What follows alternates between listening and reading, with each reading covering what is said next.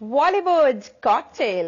Well well, Arjun Rampal को अपनी wife मेहर के साथ के 20 इयर्स के रिलेशनशिप को ऑफिशियली ब्रेक किए हुए हफ़्ता भी नहीं हुआ है जहाँ उनकी क्लोजनेस की खबरें अपनी गर्लफ्रेंड से आ रही हैं।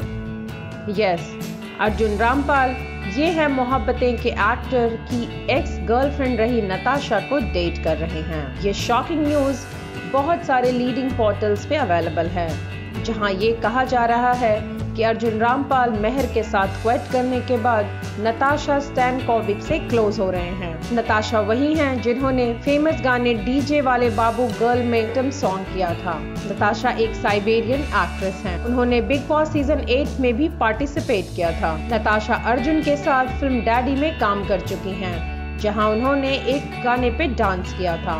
सॉसेस का मानना है कि अर्जुन और नताशा की क्लोजनेस वहीं से बढ़ी।